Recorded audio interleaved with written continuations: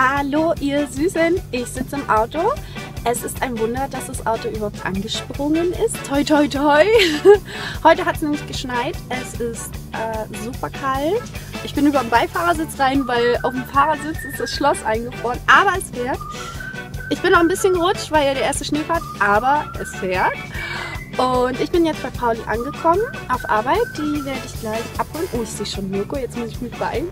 Und dann heißt es ab zu den Pferden auf die riesengroße eingeschneite Koppel. Und wir haben eine Drohne dabei. Wir werden auf jeden Fall alles festhalten. Bis später.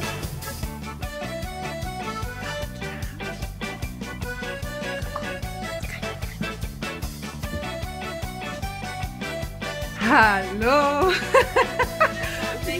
Wie siehst du denn aus? Hallo liebe Freunde! Warum bist du denn nicht drauf? Weil ich aussehe wie aufgekommen. Du bist das Teammitglied, Mann.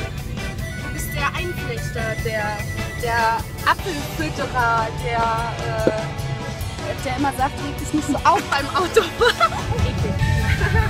Wie nennt man